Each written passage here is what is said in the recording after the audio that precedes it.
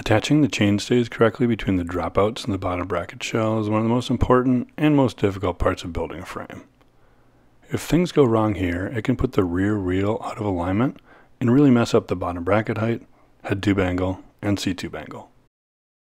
In this video, I'll be cutting the chainstays to length and brazing them between the dropouts and the yoke.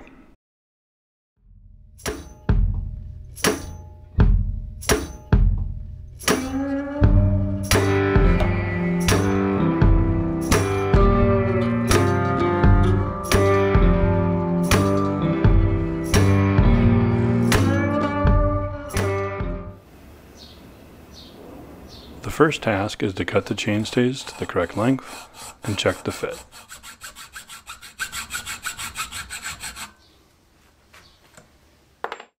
One thing about using both a yoke and low mount dropouts is that it makes the actual chainstay tubes really short.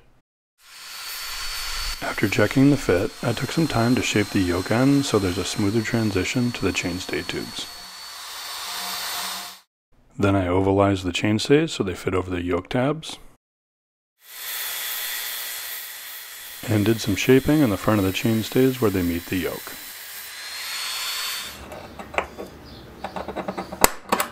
Because the chainstays will be sealed on both ends, they need vent holes.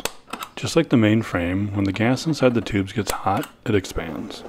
So there needs to be somewhere for that gas to escape. Each chainstay gets two holes so that when I soak the frame, the hot water gets in the tube and dissolves the flux inside the chainstays. Then everything gets a good shine with 80 grit emery cloth inside and out. I also rounded the dropout plug so there aren't any sharp edges hitting the inside of the chainstays. Before doing any brazing, I double check the jig again. Making sure that everything is straight, centered, and aligned is pretty important here. If the rear end is off, then the rear wheel won't be straight. And with non-adjustable through axle dropouts, there isn't any wiggle room if the wheel is a little crooked. After it's all cleaned and aligned, it's ready for flux, and then everything gets tacked together while it's in the jig.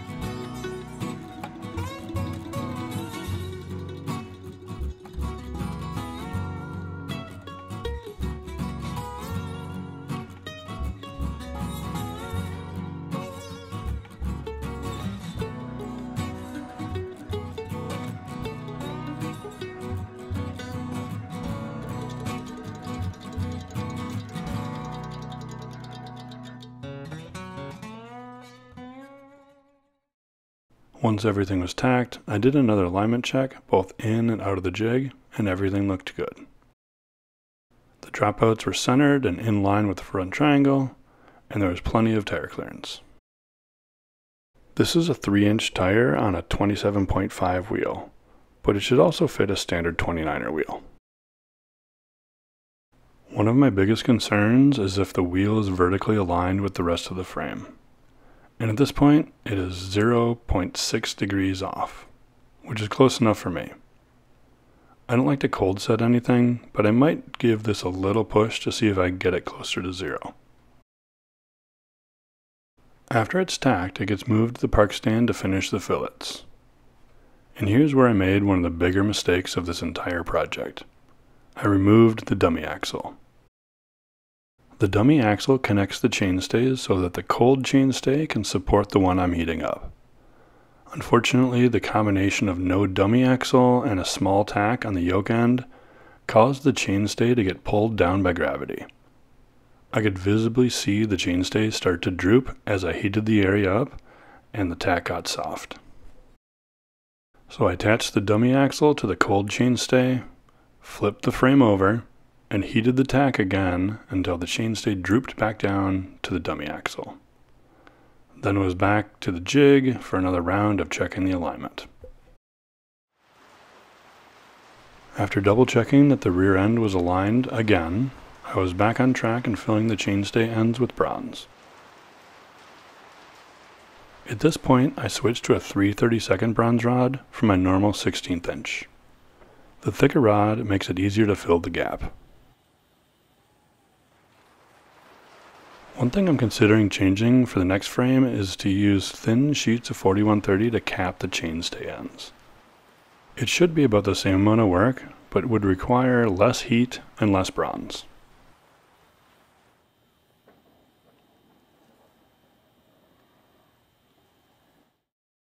This area gets extra soak time to remove the flux, along with a few rounds of dunking and draining to get hot water flowing in and out of the chainstays. Now that the chainstays are all one piece, it's time to clean up the fillets.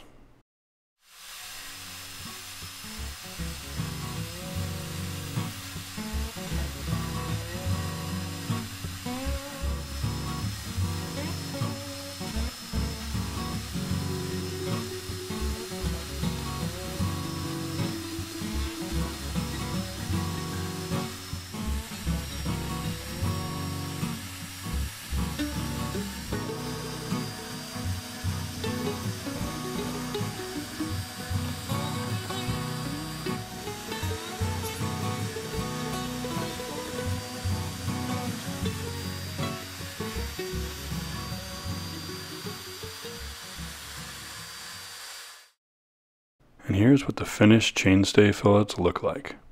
Not the smoothest or cleanest transitions, but as a certain wise bike mechanic says, it's good enough for who it's for. In the next video I'll be cutting, fitting, and brazing the seat stays, which is always a fun step because it feels like you've finally made a bike frame. If you want to see how the rest of the build goes, hit the like and subscribe button so you'll see the next video when it's published. If you haven't watched the other videos in the series, go check them out. Thanks for watching. Take care. See you next time.